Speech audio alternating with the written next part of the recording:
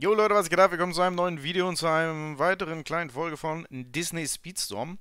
Ja, ich spiele es noch. Warum erkläre ich euch gleich? Ihr seht ja einmal, erstens die Spielerzahlen ähm, sind miserabel, bleiben miserabel und ähm, das hat einen Grund. Den sage ich euch gleich. Und ihr seht auch, die Bewertungen werden Tag zu Tag schlechter. Ähm, ja, schade. Ein dicker, dicker Flop, der nicht hätte sein müssen. Wir haben ein Community-Gift, Leute. Ja, ja, ja, ja, ja. Danke für die 1000 Leute, die es äh, auf allen Plattformen spielen. 500 auf Steam ist ein Witz. Egal, was kriegen wir denn? Was geben sie uns denn hier? Yo! Ein Rennerzug für Mickey? Ein Rennerzug für Goofy? Oh, jetzt habe ich aus Versehen. Ein Renn... Ne, eine Sieganimation. Oh, Junge! Oh, Junge! das ist aber geil. Und 20.000 Saisonmünzen. Okay. Also, Leute. Viele, viele, vielen Dank an unsere geschlossenen Beta. Hä? Ist das jetzt für das Early Access oder für die geschlossene Beta, wo ich die ich mal gespielt habe? Okay. Hauen was raus. Wir klicken einmal durch. Kartlackierung, goldener Mickey. Ähm, Leute, ganz, ganz viele haben über mein letztes Video gemeckert, weil ich gesagt habe, das Spiel ist Pay to Win und haben mich darauf hingewiesen, das war schon in der Close Beta so, dass man aktuell noch kein Geld ausgeben kann. Und damit habt ihr recht. Man kann aktuell noch nicht mit Geld, mit Echtgeld irgendwas kaufen, sondern nur mit den Währungen, die man erspielt, kann man sich seinen Charakter hochleveln, Sachen kaufen. Das heißt, es ist nicht Pay to Win im Moment, aber ich denke mal, dass wenn das Spiel Free-to-Play rauskommen wird, wird es mit Geld möglich sein. Also dann ist es Pay-to-Win. Also ist es im Moment Pay-to-Progression, sagen wir mal so. Also die Leute, die viel zocken, haben einen schnellen Charakter. Ich, der das Spiel vielleicht nur alle zwei, drei Tage mal ein Stündchen oder so, hat halt einen Nachteil, spielt mit einem Level 1 Charakter oder 5, 6, 7 gegen welche, die schon auf 15, 20 haben. Von Grund auf ist der Charakter bei denen schneller, beschleunigt besser, alle Werte besser und du hast keine Chance. Auch das darf nicht sein, zumindest nicht im Ranked Online-Modus, aber genau da ist es so. Ne, in dem normalen Online-Modus, da ist jeder Level 30. Da ist scheißegal, wie viel man gezockt hat oder ob man reingepayt hat. Aber im Ranked-Modus, da wo es gerade um was geht, da wirst du bevorteilt, wenn du viel spielst oder dann am Ende, wenn das Geld möglich ist, reinpayst. Auch jetzt zum Beispiel, ich habe hier viele Währungen bekommen. Jetzt bringt es mir nicht, Skins zu kaufen, die ich, die ich cool finde. Nein, ich müsste jetzt Begleiter bzw. Material kaufen, Lootboxen öffnen wo eventuell äh, äh, solche Teile drin sind, um meinen Charakter aufzuleveln, weil ich schneller werden muss. Das ist halt... Ja, und äh, es hagelt schlechte Steam-Bewertung einmal deswegen. Und jetzt kommt die zweite Sache. Ich habe ja gesagt, das Spiel ist nichts für mich. Wegen diesem Pay-to-Win, Pay-to-Progression. Der Ranked-Modus ist, ist so, wenn du viel zockst, hast du einen Vorteil. Ähm, und ich wollte das Spiel zurückgeben. Jetzt kommt das Lustige. Keiner kann wer im Early Access das gekauft hat, zurückgeben. Warum? Weil das Spiel eigentlich als kostenlos deklariert ist und man kauft da nicht das Spiel im Early Access, sondern man kauft die DLCs. Also man kauft da diese, diese Mickey Mouse oder was weiß ich was bekommen habe. Das heißt, ich habe jetzt 30 Euro ausgegeben, kann das Spiel nicht zurückgeben, keiner kann zurückgeben. Ähm, ja, es steht, wenn man sich alles ganz genau durchliest, irgendwo ganz unten, dass man es nicht zurückgeben kann, aber sind wir mal ehrlich, wer liest sich was durch? Man denkt auf Steam, man kauft sich ein Spiel für 29,99 oder sogar bis 69,99 Euro und denkt dann, man kann es zurückgeben, wenn es nicht gut ist. Hier hast du nicht die Möglichkeit. Disney, so ein großes Ding, haben so viel Kohle, versuchen hier alles rauszuquetschen. Ähm, auch das Menü hier und ist es so, ach egal.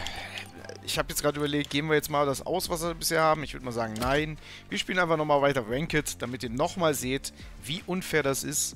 Ähm, wo kann ich denn jetzt wenigstens mein, mein, mein Mickey hier bearbeiten.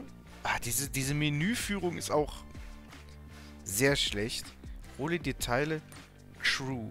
Wir haben immer noch keine Crew freigeschaltet. Ich müsste immer noch den Offline-Modus zeigen. Und dann rechts seht ihr, wie ich da hochboosten kann. Alle anderen, die schon höher sind, haben das schon, haben einen weiteren Vorteil. Ich nicht. Aber wir können jetzt hier zum Beispiel anpassen. Und wir haben jetzt hier diese Anzüge. Den habe ich im Moment. Ich finde den goldenen hier ganz geil. Ach, zurück. Und die Sieganimation nehmen wir natürlich auch den hier. Jetzt kommt der Skat. Also das habe ich noch gar nicht gezeigt übrigens. Man kann echt das Kart, ähm, ja, so ein bisschen tunen. Kartteil erhalten. Die beiden sind noch nicht freigeschaltet. Entweder den hier. Die sind auch noch alle zu. Hm. Wir nehmen mal den hier. Ich weiß jetzt gerade gar nicht. Wir haben doch gerade so ein geiles Ding bekommen. Hier, man kann ja, übrigens auch noch freigeschaltet. Äh, äh, ähm, nicht freigeschaltet. Räder kann man übrigens auch. Da haben wir schon neue. Das ändert aber alles nichts am, am äh, Fahren. Glaube ich jetzt. Nee, das ändert nichts an den Werten. Hier haben wir zum Beispiel auch schon eine andere Farbe. Zack, nehmen wir jetzt einfach mal so. So, Fertigkeiten kann man hier einmal gucken, ne? Und ihr seht hier normal und aufgeladen. Normal rückwärts aufgeladen. Schleudert ein schnelles ungelenkt. Wie kann man denn rückwärts aktivieren? Achso, wenn man nach hinten schießt. Ja, natürlich. Und ihr seht das, jeder Charakter hat seine Fähigkeiten. Das heißt, ich kann keine anderen Fähigkeiten einsammeln, außer die. Finde ich ein bisschen... Ach so, Trick 4? Ach so, dann wird der Dings länger. Also auch das muss man verbessern. Also es ist Katastrophe. Geschafft, geschafft. Kann ich das dann einsammeln? Nein. Ja, egal. Ja, Leute. Äh, naja. Ich, die Voraussetzungen waren oder sind immer noch da, Alter. Bin ich ganz, ganz ehrlich. Wie komme ich denn jetzt... Was, was will ich denn eigentlich spielen? Ähm... Wir gehen hier auf Ranglisten. Die Voraussetzungen waren, waren da. Weil, ganz ehrlich, Mario Kart ist ein, ein, eine Legende. Und jeder, der keine Switch hat, hat doch Bock. Alter, ich hab mal Bock auf ein Game wie Mario Kart. Aber ich habe nur einen PC. Ich habe nur eine PS4, eine PS5, eine Xbox One oder eine Xbox Series S oder X. Also die Voraussetzungen waren da. Die Grafik, die Performance, das Geld von dem Entwickler, also Disney, äh, Publisher oder wie auch immer man das nennt, ist da. Die Figuren, die Charaktere, de der Fanservice, der, der, die Lust, Leute, die, die Bock drauf haben, muss da sein. Aber sie haben es komplett verkackt. Einmal haben sie das Spiel zu kindgerecht gemacht. Ich muss, glaube ich, gleich den Ton mal leiser machen. Es ist einfach viel zu langsam. Ihr seht das hier, wie langsam ich fahre. Das macht keinen Spaß für den Erwachsenen. Und dann diese Pay-to-Progression, Pay-to-Win-Wall. Und das vor allem im Ranked-Modus. Ja, es kommt nicht richtig Spaß beim Fahren auf, ne? Obwohl hier das Driften... Alles ist cool. Ich sag's nochmal, alles ist cool. Hier auch diese Mechanik, dass man wen rammen kann. Cool.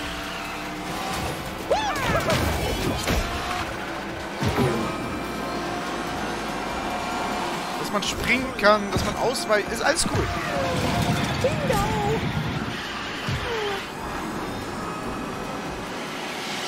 Aber... Ja. Den habe ich mal weggerammt. Die strecken auf. Übelst geil. Scheiße.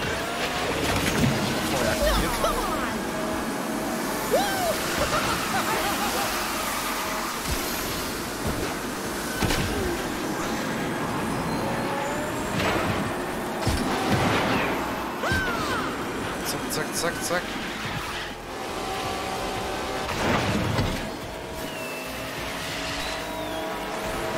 Ja, scheiße. Ah, Mann, Mist. Ich hab ja einen Boost. Ich hätte die Abkürzung nehmen können. Oh nein, das war jetzt dumm. Oh, shit. Ach, Digga.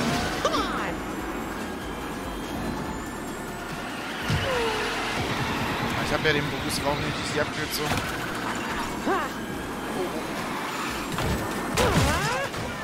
Oh. Digga, der hat mich noch überholt, glaube ich. Ich glaube, ich wurde nur Vierter. Ja. Also ich bin noch nicht der Beste. Aber es macht doch wenig Spaß. Und ihr seht jetzt Level 15, Level 13, Level 10, 9 und 10. Und alle, alle, alle haben einen besseren Charakter, schneller Dings. Trotzdem habe ich mich gegen ein paar durchgesetzt, wahrscheinlich weil das Kiddies sind. Ein bisschen schlecht im Spielen. Aber vom Grund auf haben die natürlich viel, viel mehr Chancen. Ja, mich zu schlagen, weil sie halt höher allerdings sind. Ne? Und die Rennen sind zu kurz. Also ganz, ganz viele Strecken haben nur zwei Runden, so wie die. Das ist viel zu kurz. Es, man kommt gar nicht richtig rein, es macht gar keinen Spaß. Und wie gesagt, es ist auch alles zu langsam. Also die macht, so kurz wie die Strecken sind, macht überall bitte vier Runden Minimum. Oder macht sogar 5 Runden, wenn ihr die, die, die Speedgeschwindigkeit bei allen Charakteren von Grund auf um 200% erhöht. Also um das Doppelte. Also um 100% erhöhen, sagt man das so. Ja, das muss gemacht werden. Also wenn das nicht gemacht wird, wird das Spiel tot sein, wenn es rauskommt, kostenlos. Auch wenn es kostenlos ist. Es wird tot sein, glaub mir. Das wird nichts. Das wird gar nichts. Das wird nichts. So, ich versuche jetzt mal eine Runde mal nicht zu reden, sondern einfach nur gut zu fahren.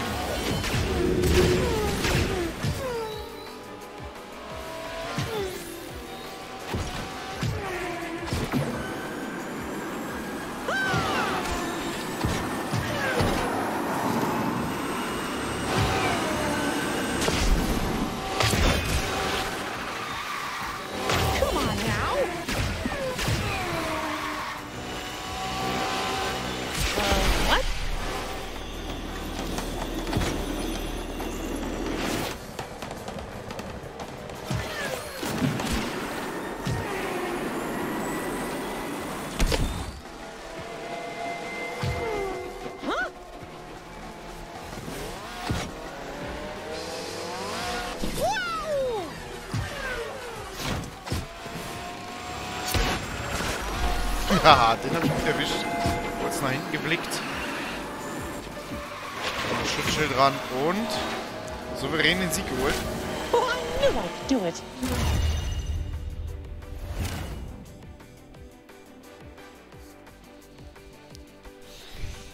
Aber nochmal, es ist Ranked. Hier wird nach MSR gewertet. Warum habe ich MSR 6 und spiele gegen einen, der 1 hat? Ja, okay. Mit dem niedrigen Level gewonnen. Wie gesagt, wenn man gut ist, dann ist man... ja, aber... Weiß ich nicht.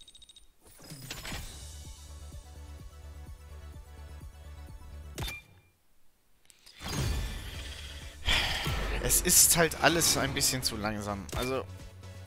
Es muss echt viel, viel schneller sein, weil dann... Ach, ach, ich weiß auch nicht. Irgendwie, auch die Items. Es ist so... Du spürst sie kaum. Es ist so komisch. Ich weiß es nicht. Es ist ganz, ganz komisch. Natürlich vergleichen wir uns mit Mario Kart, aber da ist einfach, auch wenn man getroffen wird bei Mario, es ist, es ist so ein anderes Daseinsgefühl. Ich weiß nicht, wie ich das beschreiben soll. Ich weiß echt nicht, wie ich es beschreiben soll.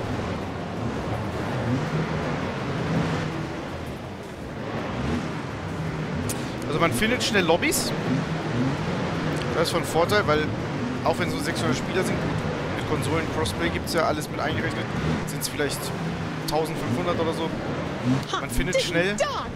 Auf Nintendo Switch geht es übrigens auch, ne? man findet schnell Gegner. Man braucht nur immer 8, ne? Also mehr als 8 fahren, glaube ich, nicht Das ist bei Mario Kart eigentlich mehr.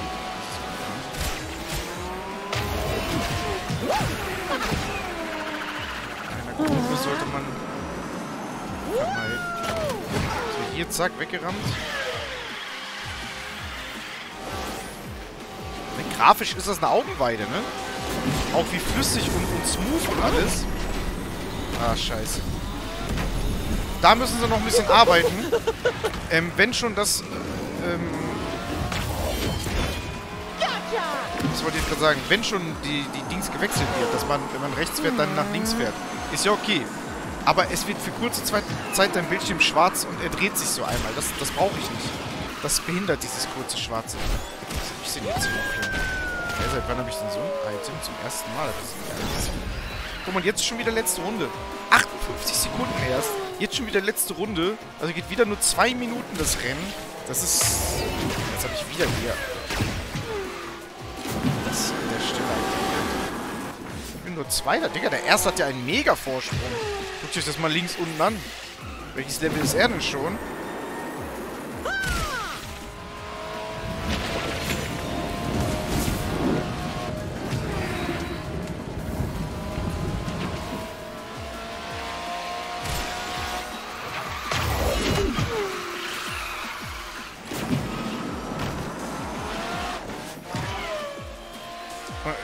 Bei dem Rennen können wir jetzt echt sehen, dass es wirklich Pay to Progression im Moment ist oder Pay to Win, je nachdem, wie man es nennen will, sagen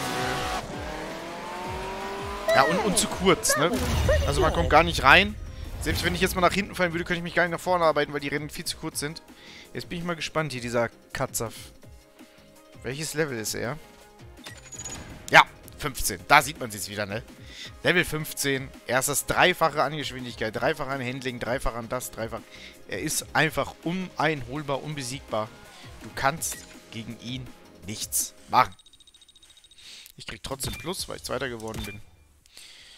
Naja, naja, naja.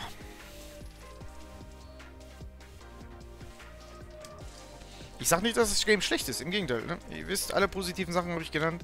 Aber die zwei, drei dicken Negativen überwiegen. Das Fahrgefühl ist so langsam. Es macht einfach keinen Spaß. Ich könnte das jetzt sogar noch weiter zocken, wenn äh, das Fahrgefühl mega geil ist. Wenn ich selber kämpfen müsste um jede Kurve wie bei Mario Kart auf 150. Na, aber guck mal, ihr seht, ich könnte quasi ohne Sliden, kann man jede Kurve nehmen. Und das darf ja nicht sein. Bei Mario Kart, wenn du nicht driftest, dann ähm, kannst du es vergessen. Dann kommst du nicht um die Kurve.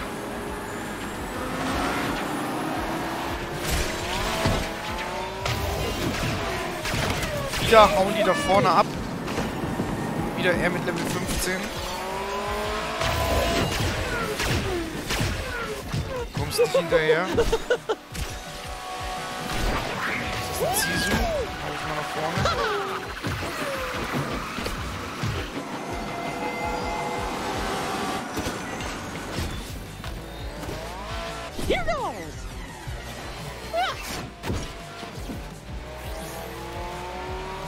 Naja, auch wieder ein paar, naja, Bugs.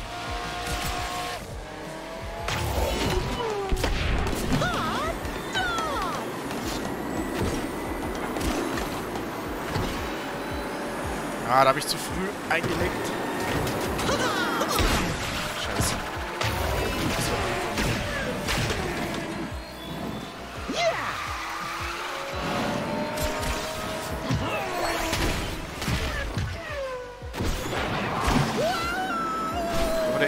Keine Chance gegen den Jungen.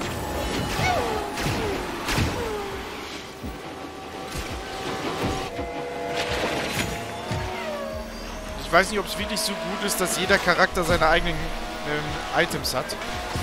Feiere ich nicht so. Jeder sollte jeder kriegen. Plus halt diese eigenen Ulti-Items, äh, äh, sag ich mal so.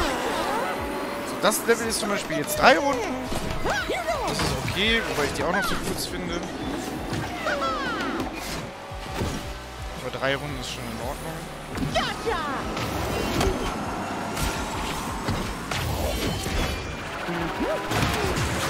Oh, shit.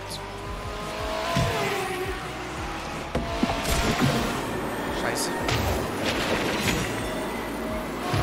Oh, ich krieg sogar seinen Boost, wenn ich mal hier hinten reinfahre. Ich werde es nicht schaffen. Krieg ich ihn noch? Oh mein Gott.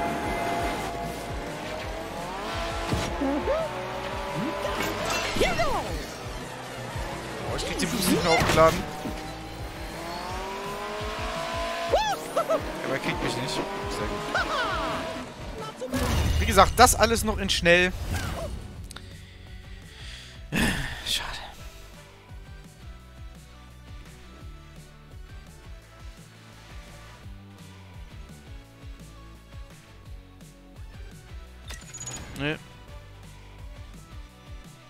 Ist er jetzt nur Level... War er nicht eben Level 15, der Typ?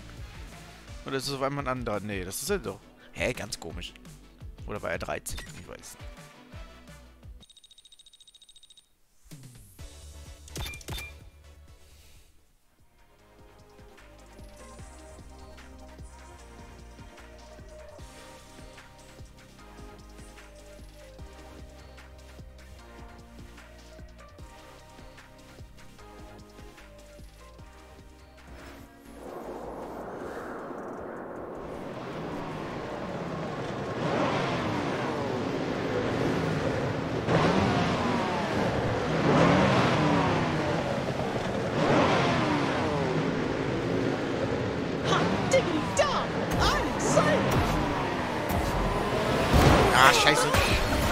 Äh?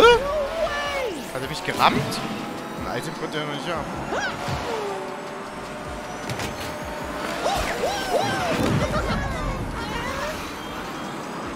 Was hat er denn dafür? Ah, da darf man nicht reinfahren, glaube ich. Da irgendwas um sich rum. Hä? Was ist das denn? Oh shit. Ah, Fehler.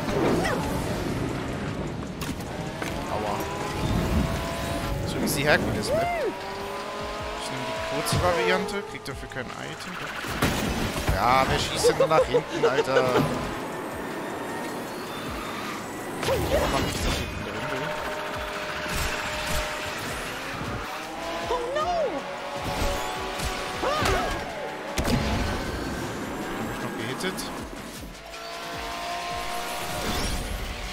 Und letzte Runde schon wieder. Ah, es ist... Müssen die doch selber merken, dass das viel zu kurz ist. Vor allem in Ranked Modus.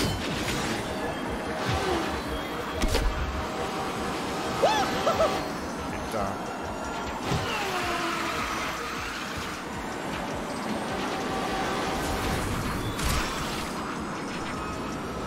Ah, ich sehe.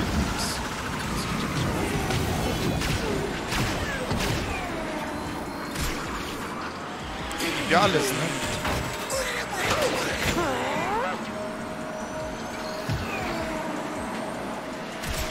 Das Item, bitte. Vorne schon das Ziel. Den kriege ich noch. Fünfter Mensch, schade.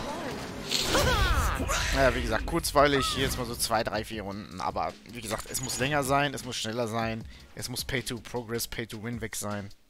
Und äh, ich würde es auch gerne finden, wenn man die, wenn man den gleiche Lobby behält. Also, wenn die anderen auch weiterspielen. Also, dass man hier nicht komplett immer rauskommt, sondern dass man auch mit den gleichen Leuten weiterspielen kann, wenn man möchte. Aber ja. Das soll es jetzt mal gewesen sein. Ich guck mal, was ich jetzt da im Shop ausgeben kann. Ein bisschen hochleveln, whatever. Haut rein.